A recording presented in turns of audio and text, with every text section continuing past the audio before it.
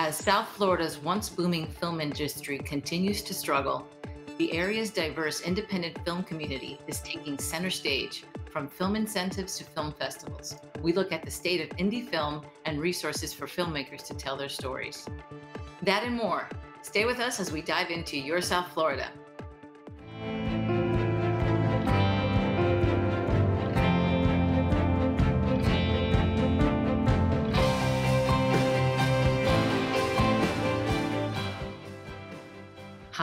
I'm Vivian Marthell, co-founder of O Cinema, filling in for Pam Giganti. Thanks for joining us. South Florida's independent filmmakers have a unique vantage point to tell authentic stories of South Florida and its people, full of rich history and diverse communities. And by staying local and hiring local, these indie filmmakers have taken the place once held by big budget productions, who were lured away by nearby states in recent years following the end of Florida's film incentive program. As part of our recent town hall, I was joined by local filmmakers Kathleen Dean and Robert Colom, and Miami Dade's Film and Entertainment Commissioner Sandy Lighterman to discuss South Florida's film community and learn about the latest resources for filmmakers. Let's start by looking at the current state of film of the, of the film industry here. From the lack of state incentives to a shutdown of productions due to the pandemic, that it's been a, a difficult few years here. And in response, Miami-Dade County recently announced an update to the film incentive that say that they say will make it easier for productions um, to qualify for these tax breaks. Sandy, if we can begin with you, can you give us an update on the film production in this county and tell us more about those incentives? Our film community, of course, as you mentioned, we we have not been able to bring in a lot of the larger projects into the community because we don't have a state sales tax, you know, sales um, or a, a, tax credit program or any type of incentive program. However, our local community is thriving. And I say that, that our local indie filmmakers are keeping us alive. And that, um, you know, warms my heart in so many ways. Uh, but you know, we we do have some productions coming in a little bit larger that are, are that are helping our economy. Uh, one is from HBO that's been shooting here, as well as there's another one coming from Apple next year.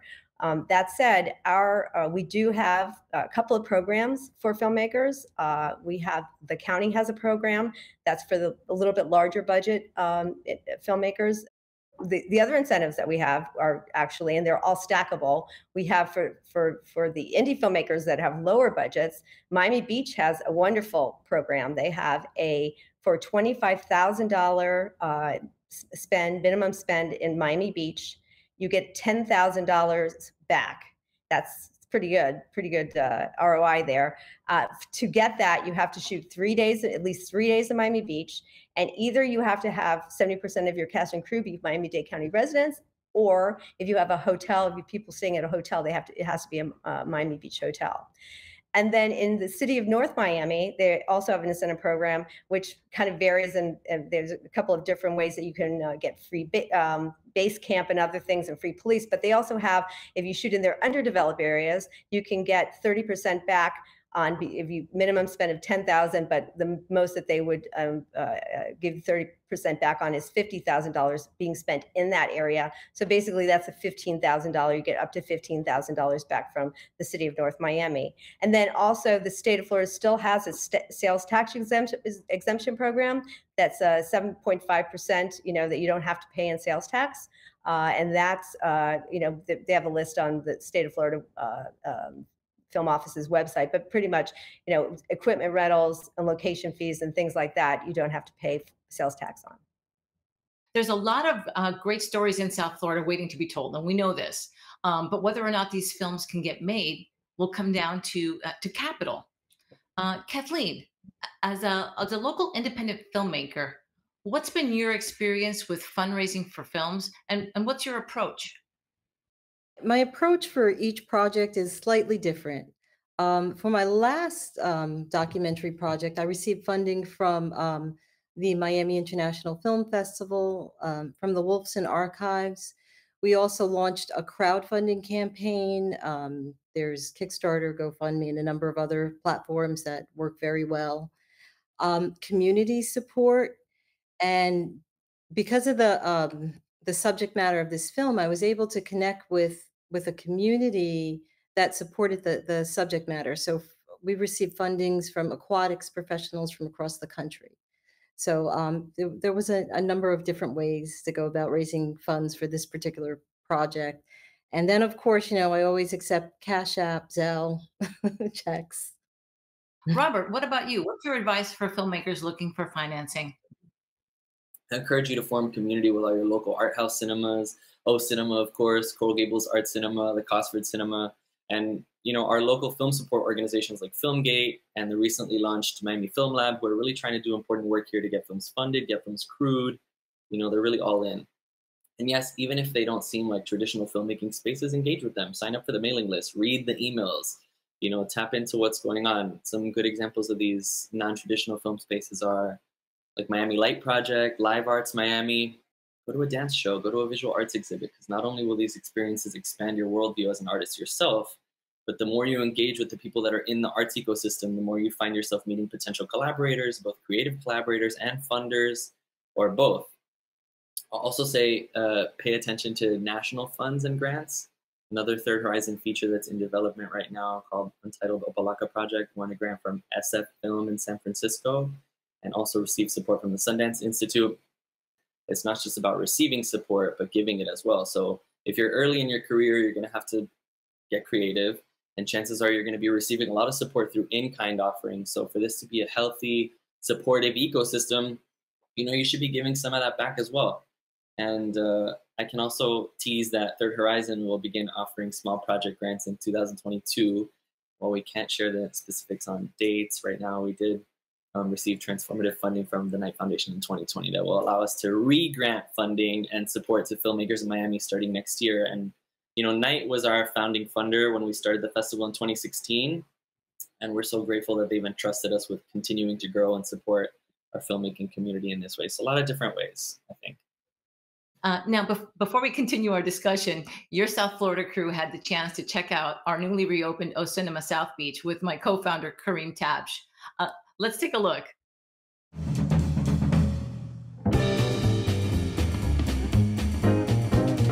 Part of what makes the space unique is this amazing collection of books and art from the Miami Beach Film Society, which we host here. So you have these great cabinets with film ephemera and history and uh, a huge collection of books that folks can poke their head in when they're visiting. Uh, that's really about the whole breadth of the history of cinema around the world. So Vivian Marthell and I decided to start O Cinema because what we saw was a lack of independent films in South Florida.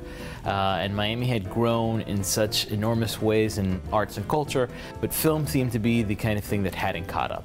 So O Cinema opened its doors in Wynwood in 2011, um, and that was our home for many years. Uh, we expanded from there to uh, North Beach in Miami Beach.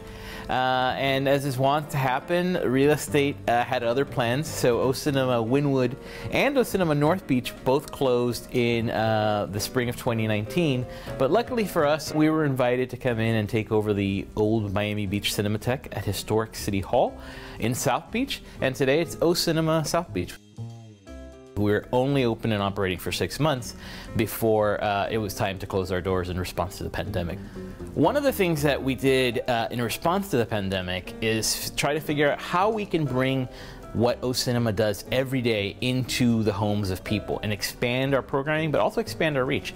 And so we couldn't think of any better partner than our friends at South Florida PBS. And what that turned into was movie time.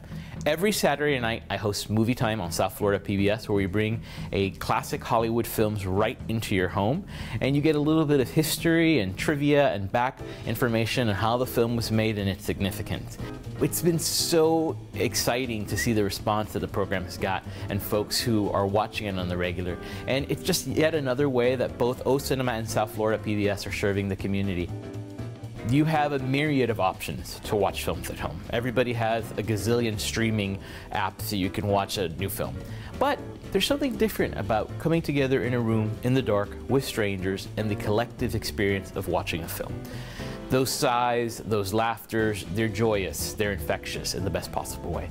And so we're really excited about the fact that folks are returning, slowly but surely, to O Cinema, and I suspect that it's going to keep on going because nothing can change the magic of watching a movie in the dark in a theater.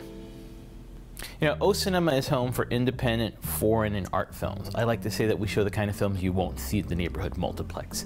Um, a big part of our mission is to educate, inform, and inspire. Um, and entertain is a big cornerstone of that. We think you can do that all through this wonderful breadth of independent film. Uh, but we also think ourselves as a place where the community can congregate, right? The films that we show on screen reflect the diversity of our community. And uh, what a better way to kind of celebrate who we are and learn about our differences and our similarities than through the art of cinema, right? Uh, unlike other art forms, the only barrier to entry here is a ticket. And you really can kind of immerse yourselves in worlds and cultures that you otherwise would not experience. South Florida is, does not have a large film industry, but what it does have is a growing film community, and there's a difference there. What we have is folks who are eager to tell stories that are authentic and representative of the diversity of our community in our real experiences. We're in South Beach now at O Cinema South Beach, but South Beach isn't Miami, and it's not South Florida. It's just a small sliver. It's where folks who come to play experience. What's really important to us is celebrating those stories of the folks that make this city the great place it is. And it's so encouraging to see how the film community has responded in telling those stories. We're such amazing filmmakers coming out of South Florida and so many great uh, efforts to kind of amplify and support those voices. We have organizations like Oolite Arts with the Cinematic Arts Residency, the Third Horizon Film Festival, the Miami Film Festival, the great support of folks like the Knight Foundation. All of this is kind of helping grow our independent film scene. Um, and so while we're not going to be replacing Hollywood anytime soon, uh, what we are going to be doing is creating more opportunities, I hope, for filmmakers to tell stories that are authentic and true to their experience and the experience of the wide breadth and diversity of our community. But if we want those stories to come out of South Florida, if we want uh, the South Florida story to be more than just South Beach, we have to support those filmmakers and find opportunities. And what does that mean? That means looking at the organizations that are already supporting them financially and contributing if we can. It most importantly means watching those films, watching them when they come out in theaters, watching them when they're on streaming, and encouraging others to do so. The only way any ecosystem is going to be uh, thriving is if it's supported. And so I think that we're at a part, you know, the juncture of our history where we want to see our true stories reflected on screen. And uh, we want to encourage folks to continue doing that. You know, Hollywood is only a plane flight away, and folks are always wanting to go there. How about we create more opportunities and more desire for folks to stay here? And we do that by supporting the talent we have here. Kareem mentioned supporting local indie filmmakers to make sure local talent stays here. Um, how is Miami-Dade County supporting this um, this community? Well, I will say first off, uh, you know, Kareem said it best: is that you have to get people to see your your films. And one of the things that uh, we do, at, at, you know, Office of Film and Entertainment, is that we have a large social me media presence, and we actually promote films that whether they're shot here or the, or are uh, local filmmakers shoot somewhere else and their you know films are being are you know, distribution then we actually promote them for sure. So that that gets people in the seats or whether the seats be at home or in the movie theater. Also um, you know in the position that i uniquely have is that i have a lot of um, connections to a lot of industry stakeholders that are decision makers.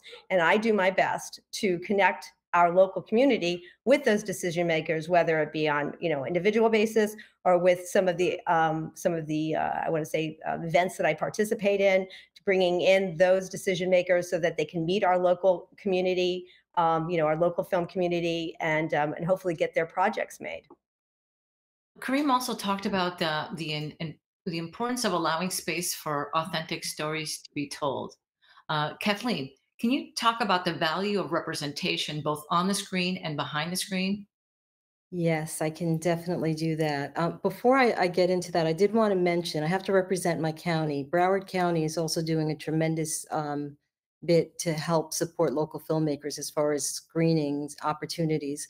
I work with Pompano Beach Cultural Arts. They have a series called Montage that's the last Thursday of every month. We offer an honorarium. I curate it and host it for uh, Pompano Beach Cultural Arts. There's also Filmed in Broward, which is part of FLIFF, the Fort Lauderdale International Film Festival, where they give a, a platform and amplify the voices of films made in Broward County. Um, the Broward County Cultural Division has been a tremendous support to local filmmakers as well as the Community Foundation of Broward. So I just wanted to um, acknowledge those organizations and all that they're doing to support the film community. Um, as far as representation goes, I mean, it's it's huge. Um, storytelling, you know, every culture has you know a storytelling tradition. Storytelling is part of how we we educate, we preserve cultural traditions, we relate to one another. Um, without that representation, we're not we're we're sort of um, getting our stories colonized we're not having the opportunity to to share and keep alive individual cultures that are so beautiful and rich. And there's something to you know to be learned from one another. I think having more voices at the table um, creates a better union. We need to hear about diverse stories. Um, we need stories that can you know connect with different audiences. Um, when i uh, worked on wade in the water drowning in racism it's a documentary film about um, the lack of access to the water uh, in in Black communities in South Florida. And surprisingly, there were so many um, people who had no idea that that was even a thing. You know, they were you know newly immigrants or um, people from other cultures who did not understand that the you know the high rate of drowning in the Black community um, you know, has historic and uh, political uh, implications that stem from, you know, Jim Crow segregation. So sharing those individual stories about, you know, South Florida's, um, you know, segregated beaches informs people, it connects people, it provides understanding. I mean, it's just, it's so important to, uh, to unify us. Robert, uh, Kareem gave a shout out uh, to the Third Horizons Film Festival. Can you tell us more about the festival and the Creative Collective's focus on Latin American and Caribbean films? We believe that you know Miami is as much a Caribbean city as it is an American city, and our programming is trying to highlight the cinema that's emerging from the region, you know, currently and its diaspora too. And so Miami and the Caribbean, you know, we're at the forefront of so many pressing matters that the rest of the world is wrestling with, namely climate change, but then also issues around identity, immigration, belonging, and, and we think that the stories from our region are really are of crucial importance right now for the world to have a true understanding of itself. And we're really proud that the festival was named one of the coolest festivals in the world by Movie Maker magazine in 2019, and then again in 2021. And our sixth edition, I know it's so sick. And then our sixth edition returns in summer 2022 and we're going to be announcing the exact dates and our call for submissions in just a few weeks. So sometime in November. Uh, Sandy, another question for you. So Film Miami recently raised the cost of uh, film permits. Can you tell us what happened and what's that about? Yeah, we raised it by twenty-five dollars. Um, so it was a hundred. It, it started in uh, I think two thousand seven, and we haven't raised the rates since then. That's this is the first raise in um, the fees, and there, it was twofold. One, uh, we actually had to change our ordinance so that actually um, it's a it's a little complicated, but uh, film uh, uh, crews that are less than three that are not taking up a lot of space or do, don't need police don't need any of you know county um, uh, resources and um, don't block access for the public actually don't need a film permit anymore. So that's a, a, change to our ordinance. So that meant less fees coming in. That was one reason. Also, we are going to be um, we're going to be launching a brand new permitting system that's going to be an app and it's going to be really easy. And um, so we're trying to update our permitting system. So that's kind of why we raised the rate by $25. So, South Florida PBS original production filmmaker supports local indie filmmakers by providing a platform to share these stories with a wider audience. Kathleen, oh, I need to mention Kathleen, nominated for Wade in the Water, both as director and for film. Congratulations. Um, you. So your film, so your film Wade in the Water: Drowning in Racism was featured on season four of Filmmaker. Can you tell us uh, a little bit more about the film and the inspiration behind it. So, um, Wade in the Water, I actually was combing through the Wolfson archives a couple of years ago, and I came across some incredible footage of the protests that the wade ins that took place in South Florida to desegregate the beaches and the pools. and I was just so inspired. I, I had to do something with this material, so I I stored it away, and then um, later on, I had started swimming with an organization called Diversity in Aquatics. And uh, during a tour of the International Swimming Hall of Fame, I was taken on a, a, tour of their gallery. They had an art exhibition that that chronicled the history of swimming, um, um, pre-colonization, pre-slavery, and um, it through art it showcased the the history of Africans in swimming. Africans were strong swimmers. They um, were pearl divers. They taught Europeans how to swim. Um, so inspired by by by that tour and the footage, I I married the two and I I put together the documentary "Wade in the Water: Drowning in Racism." And um, you know, through my um, my further interaction with Diversity in Aquatics and the International Swimming Hall of Fame, um, I felt it was really important to use this particular film for for outreach and community engagement um, because of the disparity in the drowning rate. Children of color are drowning, you know, at I think it's six times the rate of um, Caucasian children, and um, you know, we felt that this film could definitely engage audiences and then we could um, educate people and, and sort of convince um, BIPOC people to who have lost their connection to the water through Jim Crow segregation and racism to to reconnect with the water, learn how to swim, um, you know, reconnect. There's so many powerful benefits uh, to water for you know healing, um, spirituality, health, and happiness. So um, Wade in the Water, you know, kind of came together that way. So, Robert, tell us about this free mobile cinema, this mobile cinema thing you're doing. It sounds like so much fun. Yes, yes, yes, yes, yes. Okay, so continuing, you know, continuing this theme of highlighting unhighlighted work that's important to the core identities of our communities, especially our immigrant communities in Miami. In 2022, we're launching Cinemovil, which is a new mobile micro cinema project that takes films directly into people's neighborhoods. And we're going to be touring a program of undistributed Latin American and Caribbean films from the places that we have come in outdoor community spaces uh, in the neighborhoods where many of us now live. So it's going to be a really cool project. We'll also be touring local films and we're undergoing a huge translation project so that all the films that we play can be subtitled in whichever two of the three languages uh, that we speak here that the film isn't in. So Haitian Creole, Spanish, and English. So I'm very excited about that. And so far, Cinemovil has been supported by Oolite Arts, to harken back to Oolite Arts, through an Ellie Award by Locust Project Wavemaker grant. So you see the importance of these local grants. And a micro grant from the Awesome Foundation. So thank you to all those folks. And um, yeah, if you want to get involved with Cinemovil, if you want to support the project, volunteer, when we start screenings, we're about to need a lot of volunteers or just learn more about Cinemovil. You can head to cinemovil.red, C-I-N-E-M-O-V-I-L dot R-E-D, cinemovil.red to find out more. Thank you so much for asking about that. That's a really exciting project.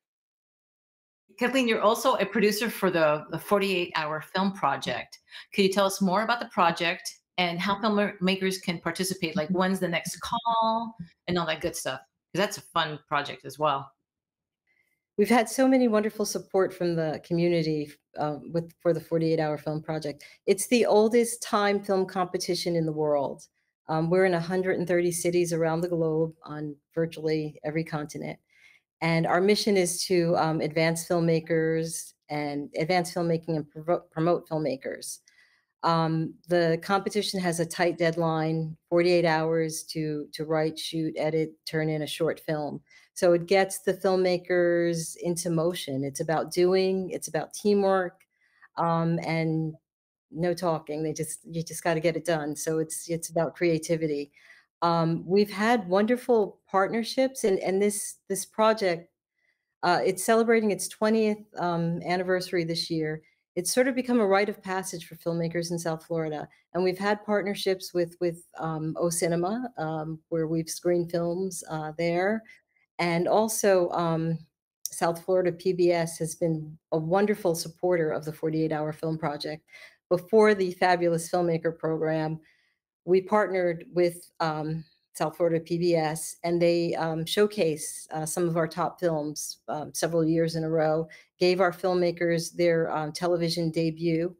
Some of the uh, filmmakers who joined the 48 Hour Film Project, um, they had like life changing career opportunities based on our, our relationship with um, South Florida PBS. And um, it's been a wonderful opportunity for people to um, advance their filmmaking careers, to meet other filmmakers to collaborate with, um, and to just to form partnerships, learn new skills, and to advance filmmaking. So I'm I'm really like thrilled to get to produce this project every year. It's an annual event.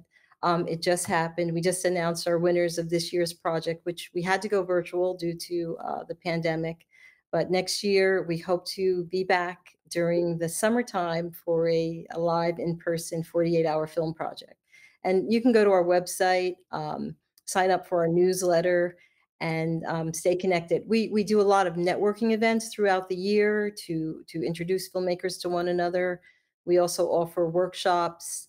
And um, I have a new position with the South Florida YMCA. Um, I just joined them as their director of arts and theater performance. So at that organization, I'm going to be building out um, a film program where we'll have screenings, workshops, and um, it will be the the home of the 48 Hour Film Festival next year. So we have one other question from uh, also from YouTube from Emmanuel. Um, they got selected for the Miami Independent Film Festival. What's the next step? I have some thoughts. I think first, you know, talk to the the organizers of the festival. You know, Mindy is a great festival. Laura is amazing. So talk to them. They can, you know, help you out with what's next. And also, I know that that festival is made by filmmakers for filmmakers. So everybody that puts on that festival has been where you are. So you can talk to them, and they're, they're going to be the best resource, I think. And then once you get to a festival, just talk to the people that watch the film. It's a great networking opportunity to be screening at a film festival, especially at a festival where the audience is someone that's really going to be interested in in like a very intimate uh, story, um, like uh, Mindy's audience is. So yeah, just talk to folks, and then uh, you know really really use your time there uh, wisely. I think that after that, there's so much uh, to do after you premiere your first festival.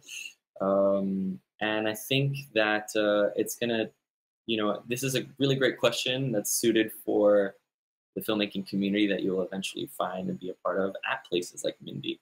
So, you know, make friends with folks, network with folks that have done it before, and talk to them about the process. I think that's going to be the best thing. Can I add to that? Um, I I think you really, as a filmmaker, you really have to market yourself and advocate for yourself when you go to festivals. If it's an in-person festival, perhaps you want to print a palm card um, that has a little synopsis of your film and you know your film marketing poster. Um, look into local media. Maybe you want to do a press release and send it out. Um, it's your opportunity. You know, you're going to screen. You have to garner an audience. Um, make the most of it. In addition to networking, um, you know, make sure you're using social media to promote that your film is screening at this particular festival. Um, really take advantage of the opportunity. You can watch the full town hall on our Facebook page at Your South FL. We'll see you next time. Thanks for watching.